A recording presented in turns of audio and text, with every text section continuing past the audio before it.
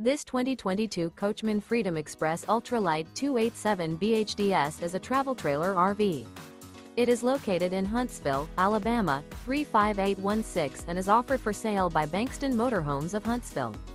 Click the link in the video description to visit RVUSA.com and see more photos as well as the current price.